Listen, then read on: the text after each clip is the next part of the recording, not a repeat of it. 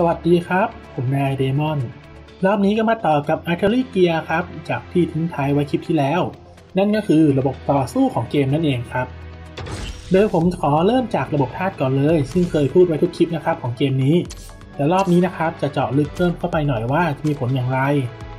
ก่อนอื่นเลยผลของการโจมตีธาตุนะครับ ที่เราชนะทางเราจะได้ผลดีดังนี้ damage เพิ่มขึ้น 10% critical rate เพิ่มขึ้น 15% และเมื่อโจมตีธาตุที่เราแพ้ทางจะได้ผลเสียดังนี้ครับศัตรูมีโอกาสบล็อกโจมตี 50%โดยการบล็อกที่ว่านะครับจะลด damage ลดลง 25%และป้องกัน debuff จากการโจมตี โดยจะแสดงมาในรูปแบบของตัวเลขสีขาวนั่นเองครับ ต่อมาเรื่องของ formation บ้างครับ ตำแหน่ง formation นะครับมี 4 ตำแหน่ง และอย่างที่รู้ว่าเกมนี้นี่เนี่ยมีตำแหน่งของ defender ด้วย ดังนั้นตำแหน่ง formation ที่ defender ควรจะลงก็คือหมายเลข1ครับ ที่จะมีโอกาสถูกโจมตีสูงสุด ส่วน 3 ตำแหน่งที่เหลือนะครับ จะมีโอกาสเท่ากัน แล้วก็ทางซ้ายของหน้าจอ formation นะครับ คือกลุ่มที่เราสามารถตั้งเพื่อสลับไปมาได้ ส่วนด้านบนนะครับที่รูปปากกาคือตั้งชื่อกลุ่ม และถัดไปด้านขวาสุดที่มีปุ่มดรอปดาวก็คือแสดงบัฟในทีมครับ ต่อมาครับมาทางด้านขวามือที่มีปุ่มให้กด คือการตั้งค่าตัวละคร support ครับ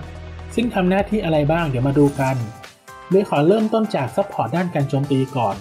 ที่เป็นรูปสัญลักษณ์ missile นะครับ คนแรกคือเมลใช้ค่า Tactical Point ทั้งหมดนะครับ แล้วก็ turn ปัจจุบันด้วย ในการโจมตีทุกเป้าหมาย การโจมตีนี้จะทะลุการป้องกัน และความแรงของพลังโจมตีขึ้นอยู่กับพลังโจมตีรวมของทีม และค่า Max HP ของศัตรูคนที่ 2 ครับทีโนใช้ค่าเทคนิคอนทั้งหมดนะครับ แล้วก็เทอมปัจจุบันในการโจมตีทุกเป้าหมาย ความแรงของการโจมตีขึ้นอยู่กับพลังโจมตีรวมของทีมและค่า Max HP ของศัตรู พร้อมดีบัฟลดความเร็ว 30% 1เทิร์นโดยไม่สนค่าป้องกันดีบัฟ คนที่3 Rider ใช้ค่า Critical Point ทั้งหมด และเทิร์นปัจจุบันในการโจมตีทุกเป้าหมาย ความแรงของพลังโจมตีขึ้นอยู่กับพลังโจมตีรวมของทีมและค่า Max HP ของศัตรู โดยยิ่งค่า Max HP สูงเท่าไหร่ การโจมตียิ่งสูงขึ้น ต่อมาครับ เป็นตัวละครที่ support buff ที่เป็นรูปโดรนนะครับ คนแรกนะครับไลล่าใช้ได้เมื่อค่า Tactical Point เต็ม โดยจะหัก turn ปัจจุบัน และจะค่อยๆ หักค่า Tactical Point ออกจนหมด เมื่อเรียกใช้เพิ่มค่าพลังโจมตีและ Critical Rate เป็นเวลา 4 turnและเข้าช่วยโจมตี 1 ครั้ง จนเมื่อครบเวลาหรือแต้มหมดหรือยกเลิก ตัวละคร support จะออกจากการต่อสู้ คนที่ 2 ราเวนใช้ได้เมื่อค่า Tactical Point เต็ม และหัก turn ปัจจุบัน โดยจะค่อยๆ หักค่า Tactical Point จนหมด เมื่อเรียกใช้ เพิ่มค่าพลังป้องกัน และป้องกันอัตราโจมตี critical เป็นเวลา 4 turn เข้าช่วยโจมตี 1 ครั้ง จนเมื่อครบเวลาหรือแต้มหมดหรือกดยกเลิก ตัวละคร support จะออกจากการต่อสู้ ต่อมาครับ ตัวละคร support ป้องกันที่เป็นรูปโล่นะครับ คนแรกนะครับวาร์เดอร์ใช้ได้เมื่อค่า Tactical Point ถึงค่าที่ต้องการ ไม่เสีย turn ในการเรียกใช้ ป้องกันทีม 2 turn และป้องกัน damage ทั้งหมด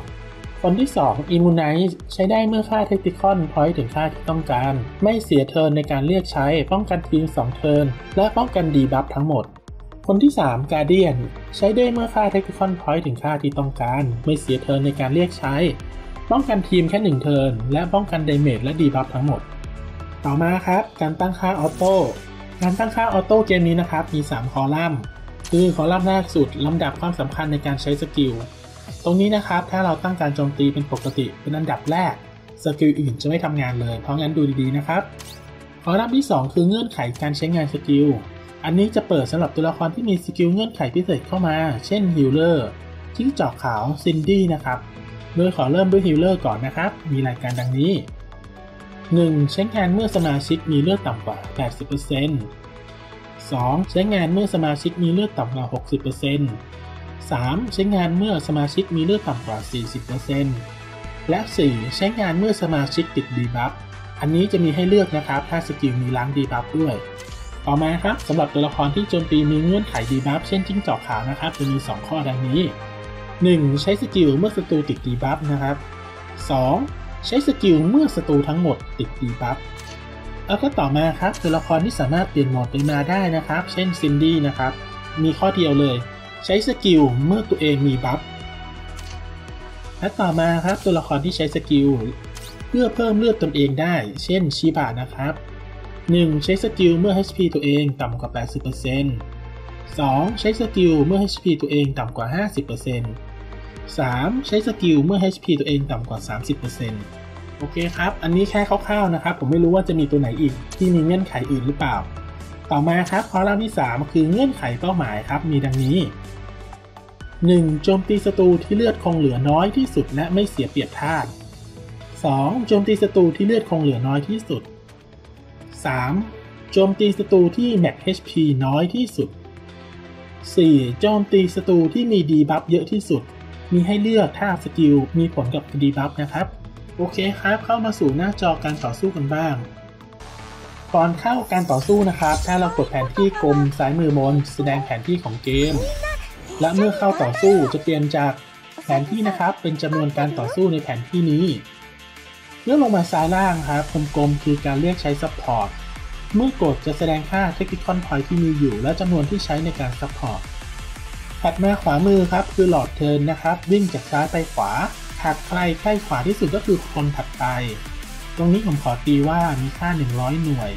ซึ่งตัวละครบางตัวสามารถเล่นหลอด turn นี้ได้ เช่น Alice Phantom โดย skill ของอลิสจะมีผลกับหลอดนี้โดยตรงถัดไปขวามืออีกหน่อยก็คือเรื่องของ skill ครับ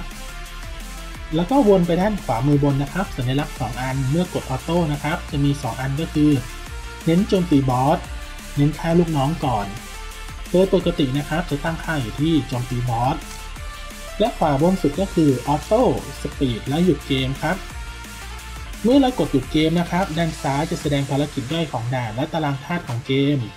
ส่วนด้านขวานะครับ ประกอบด้วยเมนูคือกลับเข้าเกม เริ่มใหม่ ตั้งค่าแล้วก็กดยกเลิก แล้วก็สำหรับการทำ auto ภารกิจนะครับ แบบซ้ำหลายรอบ เมื่อเกมโหลดเข้าสู่หน้าจอต่อสู้แล้วนะครับ สามารถปิดเกมได้เลย แล้วค่อยกลับมาภายหลัง หากการต่อสู้จบแล้วมันจะสรุปรายการให้ หากยังไม่จบมันจะพาเราไปดูการต่อสู้ต่อครับ และนี่คือทั้งหมดของระบบต่อสู้ครับ โดยเรื่องของ buff และ debuff มันแสดงด้วยภาพเดาได้ไม่ยากครับ แต่หากต้องการทราบ buff กับ debuff ทั้งหมดให้ทิ้งคอมเมนต์ไว้นะครับหรือจะใส่ไว้ในคลิปหน้าให้ ส่วนคลิปนี้นะครับขอจบเพียงเท่านี้ หากชอบกดไลค์และติดตามเป็นกำลังใจให้ผมด้วยขอบคุณครับ